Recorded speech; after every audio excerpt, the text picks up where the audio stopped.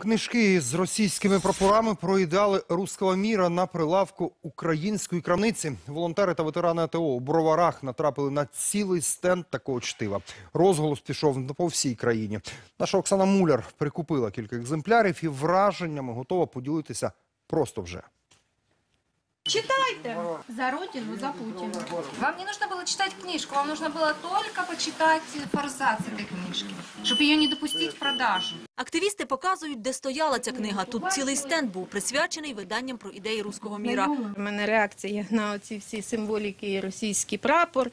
Потім, коли ми почитали, про що тут написано, де тут призиваються йти за Путіна, за Родину. Завідувачка крамниці запевняє, книжки там стоять давно, тож за них просто забули. Ну, не звернули увагу просто. Якби що- побачили, як Звісно, убрали. У нас такої літератури не може бути. сюжет фантастичний. На пострадянські країни напала фашистська Німеччина із минулого, а держави не можуть захиститися, бо нема Сталіна. Отныне Советский Союз – это мы, и что Сталин – это тоже мы. То есть, ну, от поясніть, ну, навіщо нам в Україні оце... Тобто у нас війна йде на сході, а в нас зараз продають, промивають людям мізки. На місце активісти викликали СБУ. Відомство вже кілька днів не може пояснити, як реагуватиме на інцидент. У мережі книгарень запевняють, усе вже вилучили самі. Ніяких запитів не було написано, скільки мені відомо. На сьогоднішній момент буква добровільно передала ці книжки на експертизу в СБУ.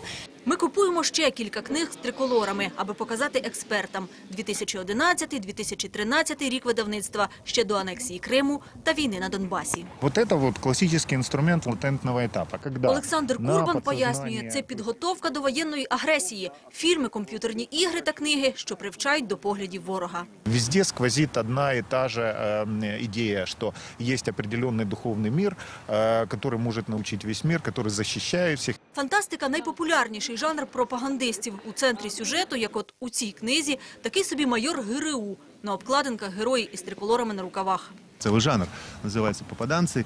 Так получилось, они вдруг оказались там э, в Америке э, времен Колумба, да, или оказались там в какой-то другой галактике. Попали. Попали, и, естественно, нужно там строить русский мир. Такі книжки, на перший погляд, здаються безневинними. В Україні є заборонний список. Ці видання до нього втрапляють тільки після скандалу. А з 1 січня діє тотальне обмеження на ввезення книг із Росії. Держкомтелерадіо має розробити е, такий дозвіл, Кабінет міністрів має його схвалити. А от коли будуть виникати сумнівні такі моменти, для цього е, передбачено створення експертної комісії. Книжковий ринок Петрівка. Відверто пропагандистської літератури на прилавках немає. Хоч ось ціла серія про доблесті російських розвідників. Заборонене можна купити, але принаймні воно не стоїть на вітринах. Оксана Муляр, Віталій Дорощенко та Максим Шинкаренко. Спецкор 2+,2.